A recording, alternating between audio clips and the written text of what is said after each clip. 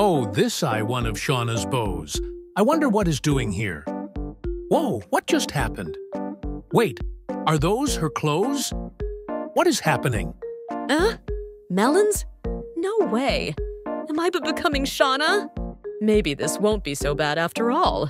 Whoa! This could take some getting used to, but at least I can get closer to Serena.